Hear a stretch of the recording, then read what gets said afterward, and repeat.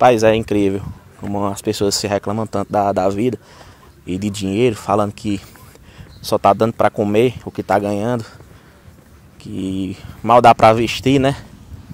E o que eu observo é que ninguém perde uma data comemorativa.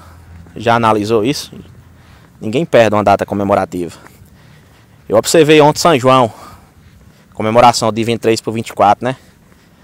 Não vi um só contato aqui é, nas minhas redes que estava sem, sem postar um churrasco, uma cerveja gelada. Aí tu acha que a cerveja é devassa? Tu acha que a cerveja é, é o que? É Bavária? É Heineken, meu amigo. Entendeu?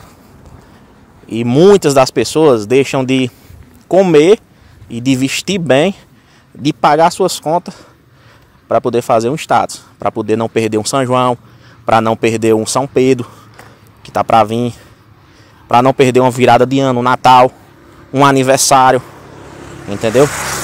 Porque para essas pessoas, uma data comemorativa é mais importante do que andar bem vestido, é mais importante do que pagar suas contas, entendeu?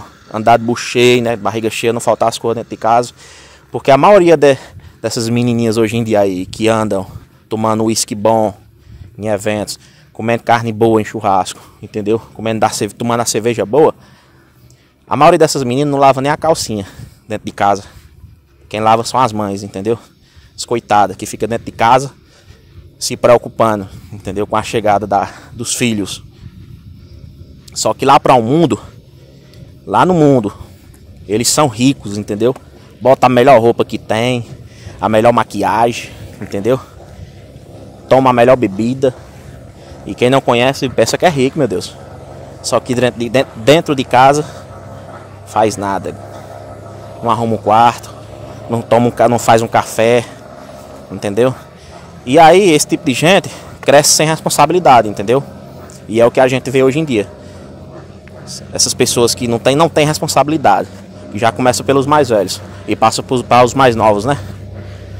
Pessoas que não têm responsabilidade. Faz uma compra, é, a, a, o vencimento é dia 15, por exemplo.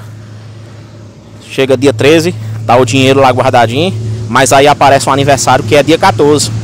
Então eles se sentem na obrigação de pegar o dinheiro para poder curtir sua festa. Entendeu? Quando o cobrador chega, eles falam que usam uma, faz uma mentira. Tem dessas pessoas que inventam até que criança tá doente, que, que mãe, que pai tá internado. Entendeu? Usa, usa da, dos seus parentes para dizer que gastou dinheiro por conta disso, por motivo até de doença, entendeu?